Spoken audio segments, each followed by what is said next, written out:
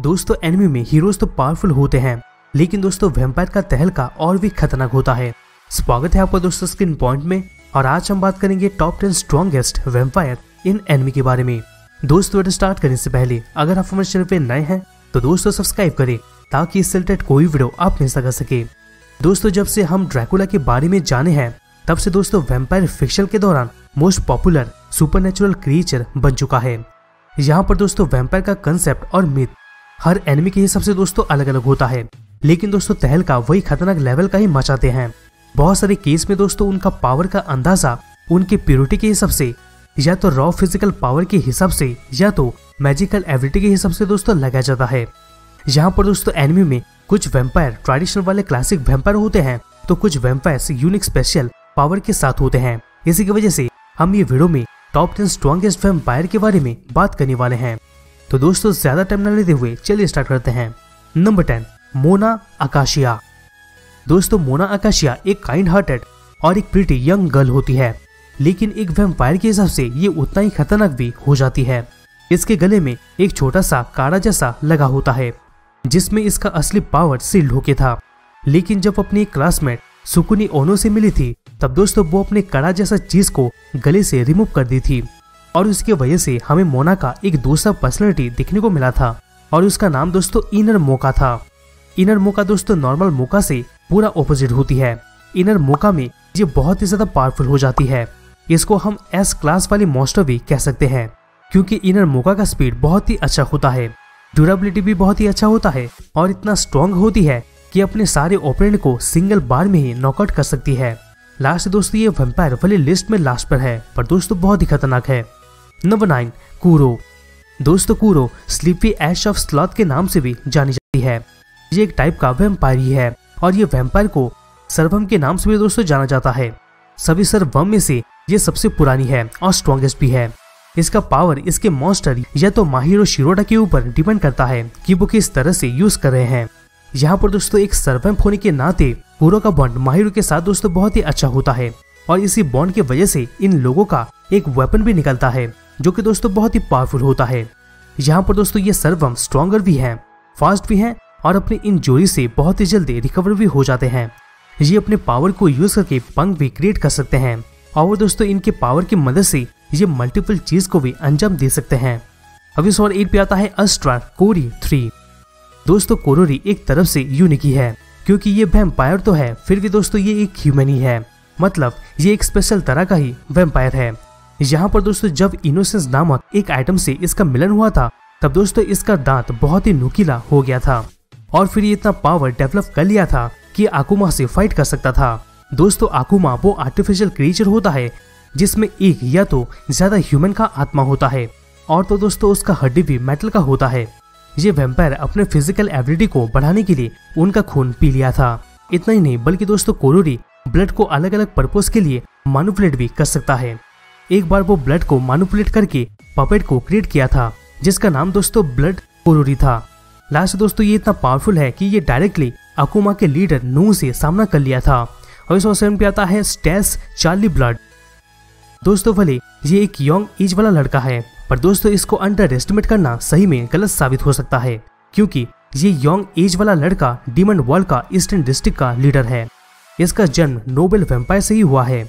इसका गिनती सभी स्ट्रॉन्गेस्ट डिमन में से एक में होता है। इसके यंग होने का कारण दोस्तों इसके पास बेहिसाब पावर था। सभी वेम्पायर्स की तरह दोस्तों इसके पास भी एनहेंस्ड फ़िज़िकल एबिलिटी होता है। और सबसे खास बात यह है कि इसका स्टेज मैजिक भी यूज़ कर सकता है, क्योंकि वो अपने डिमनिक एनर्जी को रिज़र्व करके रखता है। ये अपने पावर को दोस्तों कंसंट्रेट करके अपने पास के एनवायरमेंट को क्षति पहुँचा सकता है, यानी नुकसान पहुँचा सकता है। लास्ट दोस्तों ये इतना पावरफुल है कि ये अपने पावर को ओपोनेंट के बॉडी में डाल के उसको अंदर से डेस्ट्रॉय कर सकता है। तो दोस्तों, सोच सकते हैं कि ये कितना पावरफुल है। हमें सो सिक्स पे आता है D vampire hunter D blood lust से। दोस्तों वैम्पायर हंटर डी का स्टोरी एक हाइब्रिड ह्यूमन वैम्पायर के ऊपर ही चलते रहता है, जिसका नाम दोस्तों डी होता है। डी में एक वैम्पायर का सभी पावर होता है, साथ में इसका वीकनेस भी बहुत ही कम होता है, जहाँ तक कि हर पाँच साल में डी सनलाइट में भी सरवाइव कर सकता है। ये एक इमोटल है। और साथ में एक एक्सपर्ट स्वॉर्डमैन भी है। इसके पास सुपर ह्यूमन वाला स्ट्रेंथ होता है और साथ में स्पीड भी होता है। इसका सबसे खतरनाक चीज़ ये है कि ये अपने लेफ़्ट हैंड से आग, पानी, हवा और ऑट के एलिमेंट को एब्सॉर्ब कर सकता है। यहाँ तक कि ये आत्माओं को भी एब्सॉर्ब कर सकता है। लास्ट दोस्तों, ऊपर ऊपर से ये जानने को मिला था सेक्रेट एंड सिस्टर हो सकते हैं, जो कि सभी वैम्पायर्स के रूलर थे। और लास्ट दोस्तों, आप कुछ भी कहो, लेकिन दोस्तों, ये एक सुपर ह्यूमन लेवल का वैम्पायर है। अभी दोस्तों नंबर फाइव पे आता है कानामी, कुरन वैम्पायर नाइट से। दोस्तों ये वैम्पायर का अगर आप एज सुनेंगे तो आप चौक जाएँगे। इसका एज लगभग दस हज़ार साल का है। और इसकी वजह से इस लिस्ट में कानामी सबसे ओल्डेस्ट और स्ट्रॉन्गेस्ट वैम्पायर में से एक है। यहाँ पर दोस्तों कानामी सात प्योर ब्लड फैमिली में से एक फैमिली हेड था और फाउंडर भी है। इसकी वजह से दोस्तों ये कहा जाता है कि इसके पावर को नापा नहीं जा सकता है।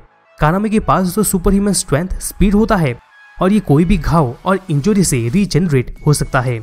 कानामी एक प्योर ब्लड फैमिली का हेड और फाउंडर होने के नाते, ये दूसरे वैम्पायर्स का भी खून पी के अपने पावर को बढ़ा सकता है। इतना ही नहीं दोस्तों, बल्कि ये इतना पावरफुल है कि इसका फ़िज़िकल कंटेंट के मदद से ये दूसरों के मेमोरीज को भी मैनिपुलेट कर सकता है। लास्टली ये इतना पावरफुल है कि इसका एक्सिस्टेंस यानी अस्तित्व ही बाकी वीक वेम्पायर को साफ़ कर सकता है। अभी सो फोर पे आता है कैंडिस एंटीरिमा डी राइजल दोस्तों कैंडिस एंटीमाडी रिजल को हम सिंपली राय भी कह सकते हैं। ये एक वेम्पायर है, जिसके पास दोस्तों नॉबलिस का टाइटल होता है। नॉबलिस राय दोनों, यानी दोस्तों इन्फ्लुएंटर और साथ में दोस्तों एक्सट्रीमली पावरफुल हैं। इनका एग्जिस्टेंस ही इनके ओपोनेंट के अंदर डर पैदा कर देता है।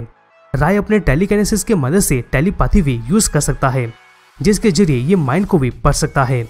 इसके पावरफुल और के मदद से ये पावरफुल बैरियर्स भी बना सकता है, जिसके मदद से ये अपने आप को ही प्रोटेक्ट कर सकता है। और दूसरे ऑपरेंट को सील भी कर सकता है।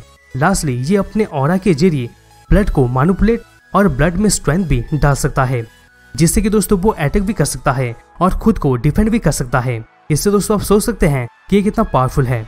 अभी सो थ्री पे आता है डियो ब्रांडो जो जो बेचारे एडवेंचर से। दोस्तों डियो ब्रांडो का एम्बिशन ही इतना स्ट्रॉन्ग है कि इसको एनिमी में ग्रेटेस्ट विलन बनाता है। दोस्तों डियो के पास भी वही स्किल होता है जो वेम्पायर के पास होता है। लेकिन इसके साथ साथ और भी एक्स्ट्रा पावर इसके पास होता है। जैसे कि दोस्तों, ये अपने पावर की मदद से किसी को भी टच करके उसको फ्रीज कर सकता है। इतना ही नहीं, ये अपने आँख में फ्लूड इस्तेमाल करके हाई प्रेशर बीम को भी शूट कर सकता है।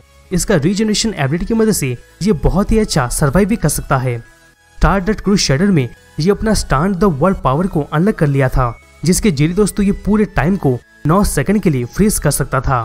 यहाँ पर दोस्तों पूरे टाइम को फ्रीज कर देना बहुत ही ज़्यादा पावरफुल वाला बात होता है। अब टू पे आता है शेल्टियर ब्लड फलन ओवर लॉर्ड सीरीज़ से। दोस्तों इसको हम एक ट्रू वेम्पायर कह सकते हैं। और साथ में दोस्तों ये एक डिवाइन मैजिक कास्टर भी है। शेल्टियर के पास दोस्तों बहुत सारा पावरफुल एबिलिटी और स्किल होता है। एक वेम्पायर होने के नाते इसके पास स्ट्रेंथ भी होता है और ये ब्लड को मैनुपुलेट कर सकता है। इतना ही नहीं, बल्कि दोस्तों ये लेजर वेम्पायर सोल्डर्स को भी क्रिएट कर सकता है। इसके साथ साथ दोस्तों, ये एक ट्रंप कार्ड भी यूज़ करती है, जिसका नाम दोस्तों एनी हजर होता है। ये एक मैजिक अवतार ही होता है, जो कि उसी के जैसे दिखता है, और उसी में उसका सब फ़िज़िकल स्ट्रेंथ और इक्विपमेंट होता है। शेल्टियर अपने ओपोनेंट्स को हराने के लिए प्रकाश का विशाल किरण को भी दोस्तों निकाल सकती है। लास्टली इस पे हुआ किसी भी हमले को ये उंडो भी कर सकता है, जिससे कि उसको नुकसान बिल्कुल भी नहीं पहुँचता है। इतना सारा पावर पैक होने की वजह से दोस्तों, ये नंबर टू पोजीशन को डेफिनेटली डिजर्व करता है।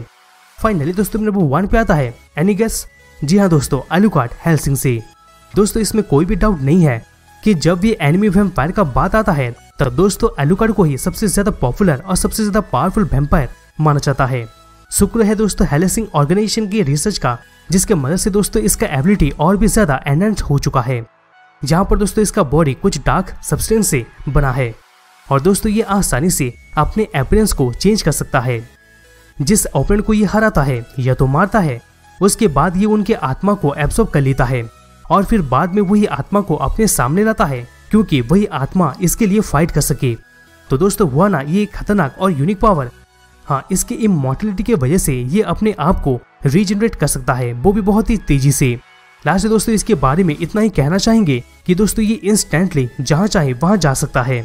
ओवरऑल इतना खतरनाक पावर की वजह से ये नंबर वन पोजीशन को डेफिनेटली डिजर्व करता है।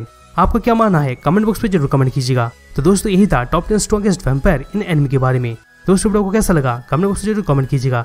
दोस्तों, अगर वीडियो अच्छा लगा तो प्लीज़ वीडियो को लाइक करना मत भूलेगा जिससे हमें मोटिवेशन मिलता रहेगा।